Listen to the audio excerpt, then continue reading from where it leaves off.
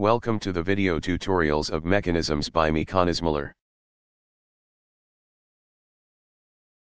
The purpose of electric motors is to convert electrical energy into mechanical energy.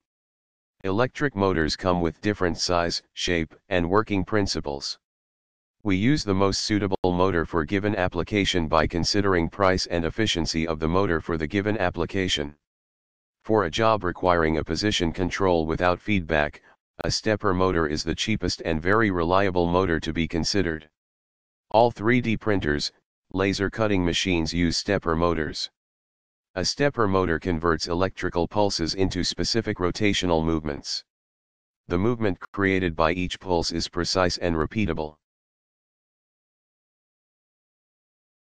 Stepper motors, just like brushless DC motors are inside-out DC motors.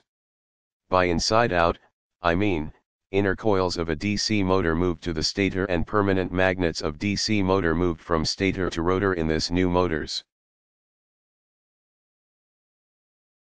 This video animation shows the working principles of the two-phase stepper motor with one-phase operation. It is two-phase because there are two coil windings for the current to pass. In this video, the vertical coil phase is named as V and the horizontal phase is named as H.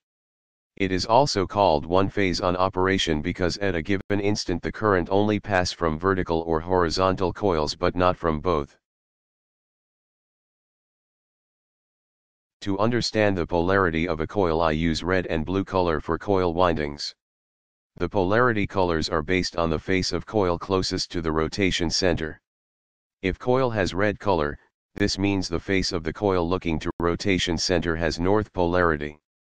Similarly, if a coil has blue color, the face of the coil looking to rotation center has south polarity. I did not use small yellow circles to show flow direction in some wires to simplify the animation. It is obvious in those cases which direction the flow goes. However, I used the red color to indicate the presence of a current, and brown color as absence of the current. Let's start to illustrate a typical step sequence for a two-phase motor with starting phase V. In step 1 phase V of a two-phase stator is energized.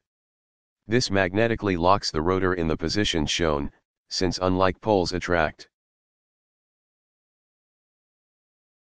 In the step 2 phase, V is turned off and phase H is turned on, the rotor rotates 90 degrees clockwise. In step 3, phase H is turned off and phase V is turned on but with the polarity reversed from step 1. This means that electric current flows in the opposite direction in step 3 with respect to step 1 current. This causes another 90 degrees rotation during step 3. In step 4, phase V is turned off and phase H is turned on, with the polarity reversed from step 2.